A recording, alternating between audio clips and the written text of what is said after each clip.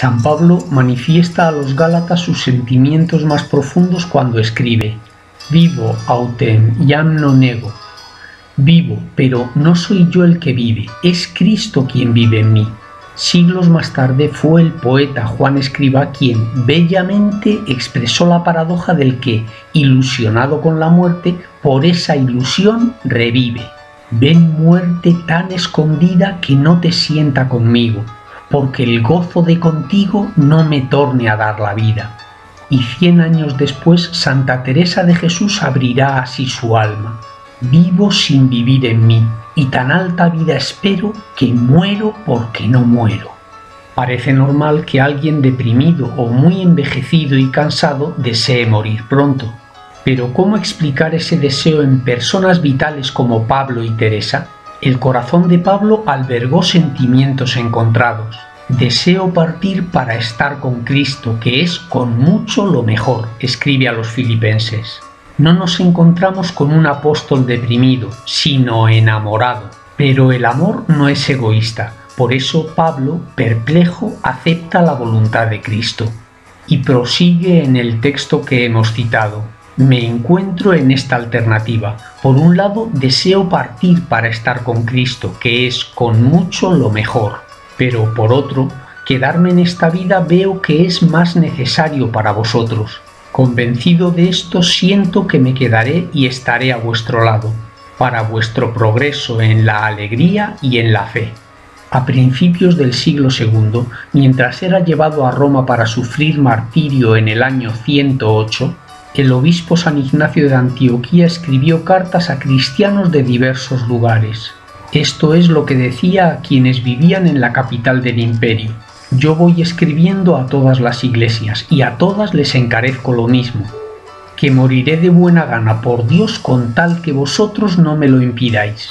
Os lo pido por favor, no me demostréis una benevolencia inoportuna, Dejad que sea pasto de las fieras, ya que ello me hará posible alcanzar a Dios. Se acerca ya el momento de mi nacimiento a la vida nueva.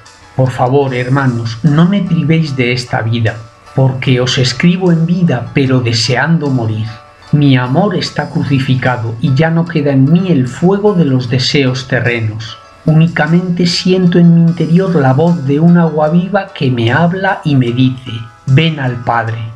No quiero ya vivir más la vida terrena, y este deseo será realidad si vosotros lo queréis. Si sufro el martirio es señal de que me queréis bien, de lo contrario es que me habéis aborrecido. En marzo del 2000, San Juan Pablo II redactó la siguiente disposición en su testamento. Ahora, en el año en que la edad de mi vida alcanza los 80 años, octogésima adveniens, es necesario preguntarse si no es tiempo de repetir con el bíblico Simeón, Nunc dimittis. El anciano Simeón había rezado así, Nunc dimittis servuntum domine. Ahora, Señor, según tu promesa, puedes dejar a tu siervo irse en paz, porque mis ojos han visto a tu Salvador. Juan Pablo II era consciente de su edad y de que había llevado a la Iglesia hasta el tercer milenio como el cardenal Wyszynski le dijo que debía hacer cuando fue elegido vicario de Cristo. Sin embargo, en el jubileo de los jóvenes el 2000 fuimos testigos de su vitalidad y su juventud interior. En otros casos sucede lo contrario, y al acercarse la muerte alguien desea prolongar su vida. Es lo que le sucedió al rey Ezequías cuando el profeta Isaías le anunció la proximidad de su muerte. Así dice el segundo libro de los reyes. En aquellos días Ezequías cayó enfermo de muerte. El profeta Isaías, hijo de Amós, vino a decirle, Así habla el Señor, pon orden en tu casa porque vas a morir y no vivirás. Ezequías volvió la cara a la pared y oró al Señor. Ah, Señor, recuerda que he caminado ante ti con sinceridad y corazón íntegro, que he hecho lo recto a tus ojos. Y se deshizo el rey en lágrimas. Antes de que Isaías abandonase el patio central, le llegó la palabra del Señor que decía, Vuelve y di a Ezequías, jefe de mi pueblo. Así habla el Señor, el Dios de tu padre David. He escuchado tu plegaria y he visto tus lágrimas. Yo voy a curarte. al tercer día subirás al templo del Señor. Añadiré otros 15 años a tu vida. La actitud de Ezequías fue buena. Llorando le pidió a Dios que prolongase su vida, pero aceptando la voluntad de Dios, y Dios le concedió esa gracia. Los ejemplos que he citado muestran cómo debemos afrontar la muerte. Ante la muerte no deseada podemos pedir que se prolongue nuestra vida, pero sin desesperanza y aceptando siempre la voluntad de Dios, pues sabemos que la muerte no es el final.